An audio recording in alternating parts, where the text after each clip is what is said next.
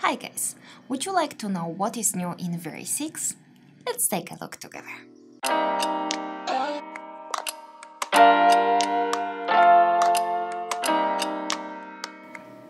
I will be testing the beta version of the software.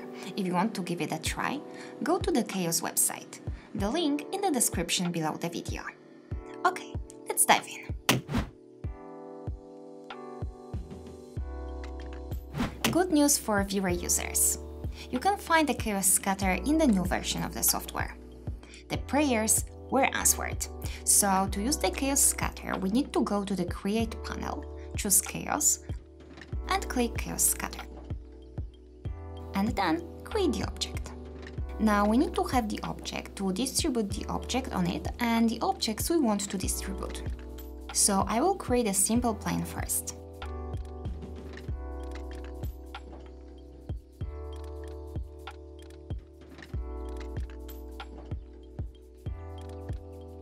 And I will choose a tree from the Chaos Cosmos. I will go to the vegetation section. And I will choose trees.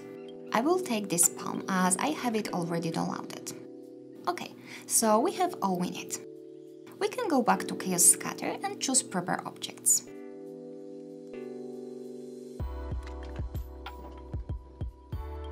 We definitely need to limit the number of trees on this surface.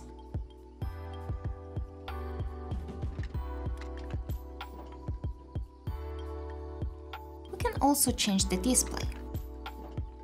I've created in-depth video about the Chaos Scatter in Corona, but it works the same in V-Ray. So if you want to know more about this feature, definitely check it out. I put the link in the corner. But I will show you another thing. You can use presets from Chaos Cosmos. For now, we have 5 different presets. We can choose these trees for example. This is a warning that we need to create an object for distribution. Okay, now different trees are imported at the moment. And we also have Chaos Scatter object. You can see that we need an object here. So let's create a simple plane. Actually, we can make it bigger.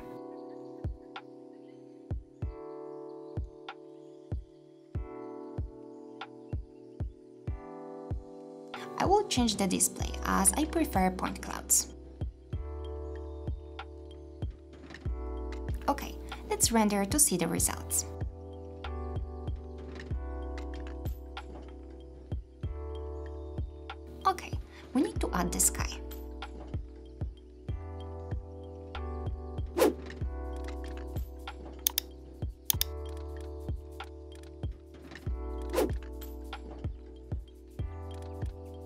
And here we go. I will adjust the image a little bit to see the results better. I need to say that this looks pretty good. Nice preset to use. And we can edit the presets. Here, we can randomize the position, rotation and scale of the objects. We can change the values of transform, for example.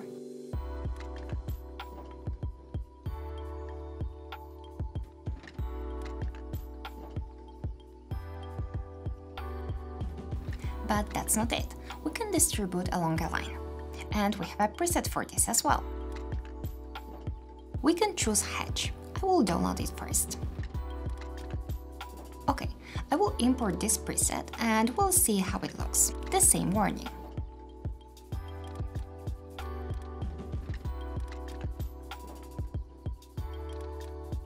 Now, we need to create a spline.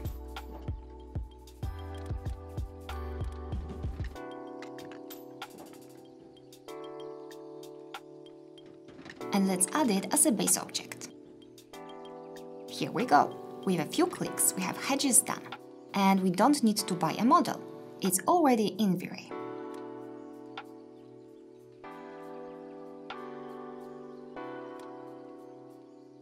Let's start interactive rendering.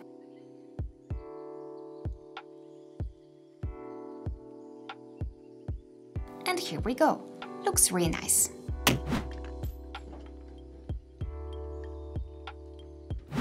We have V-Ray decals that gives us an opportunity to add displacement to any surface to achieve even more realistic results. Let's see. I have a simple scene prepared. To create a V-Ray decals, we need to go to the Create panel, click V-Ray and choose V-Ray decal.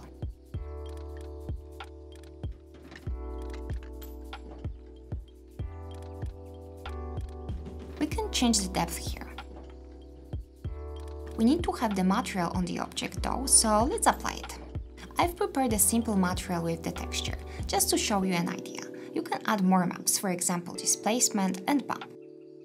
We can use the fit aspect ratio to material option now. And let's see how it works. Awesome! We have the projection of the map on the objects.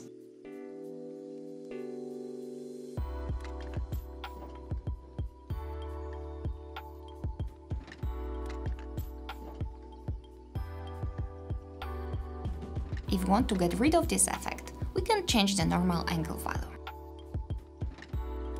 However, it will affect all objects, so we get rid of the effect on the sphere as well.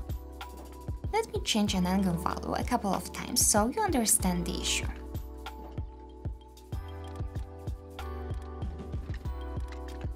We can also include or exclude objects that we want or don't want to have this option on. Let's say I will exclude all boxes.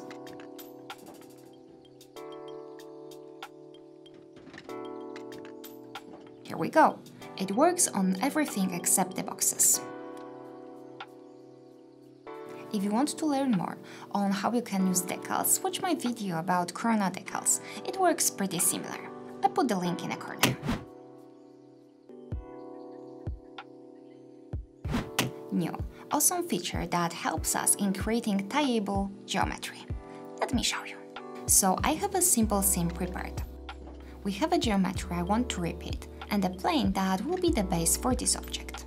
If you want to use this new option, we need to go to the modifiers and choose V-Ray Enmesh modifier. And now, just choose the object you want to repeat. It's not visible in the viewport, so we need to render it. Here we go. You can notice that the scale is not right though. We can fix it with the tiling options. I will adjust the tiling U value. Awesome! So with Enmesh, you can think of geometry like a texture, however rather than repeating an image over a surface, it uses tileable geometry.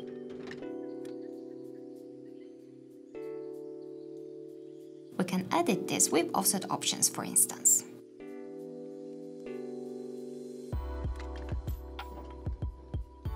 This option is great. We can easily create repetitive patterns and it uses much less memory than displacement or copying it by hand.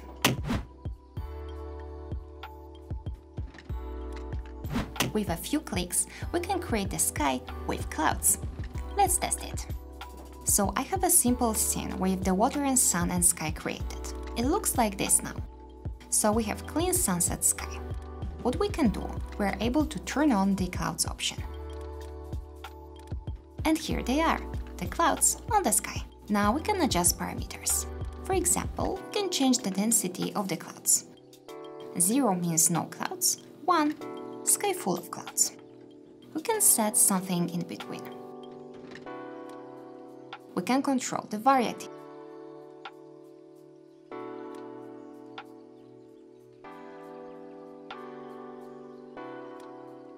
This one is cool.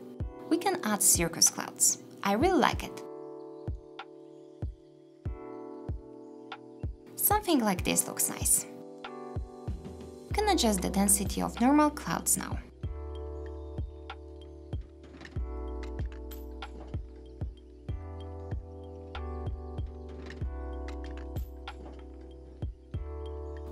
also use other options like offset for example.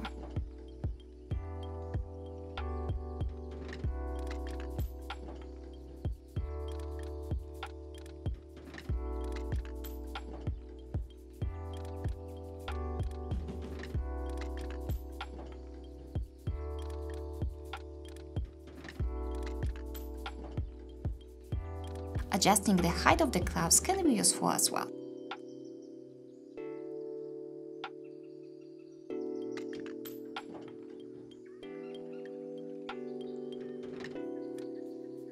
The same with the thickness, and so on. Pretty straightforward. So in general, we don't need to use HDRI anymore. I really like this option as it gives us a possibility to control the effect. We can create our own sky scenario.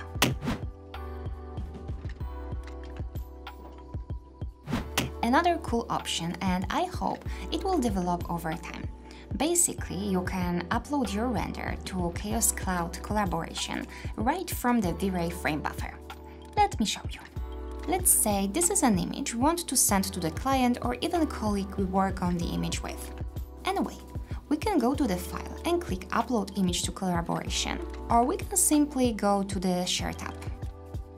Here we have a list of project folders. We can also create new one. Let's call it Ocean. And now, we need to choose the folder and upload the image.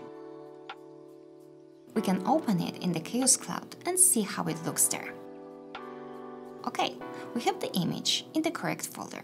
We can click Present, for example, to see the images in the form of slides. What is cool, we can add comments.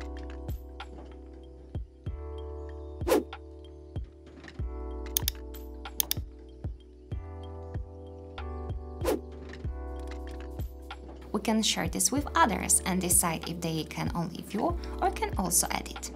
Similarly, like on the Google Drive.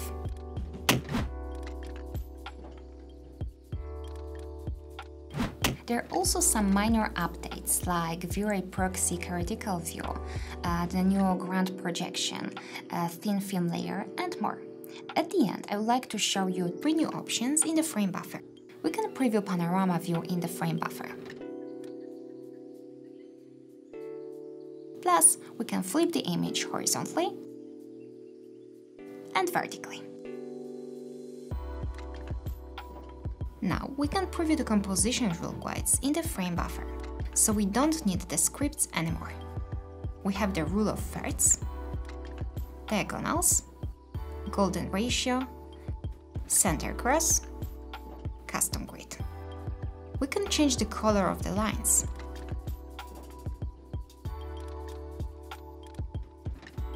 adjust the number of rows and columns.